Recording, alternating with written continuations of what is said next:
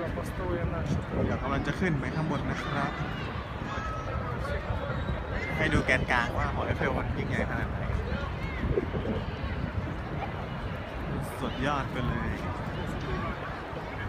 ดูผู้คนไปก่อนนะ ผู้คนโคตรเยอะเลย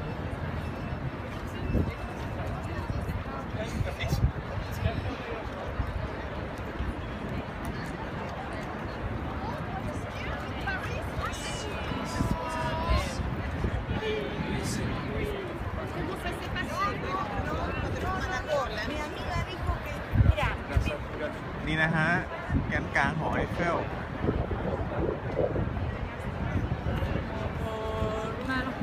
อันนี้คือต่อคิวเข้าขึ้นไปดูหอไอเฟลข้างบนนะครับ